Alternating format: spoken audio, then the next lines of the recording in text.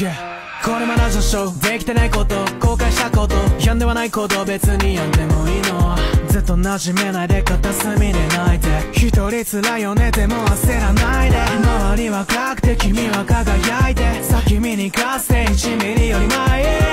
僕らなりの世界へ行こう。来てくれてありがとう。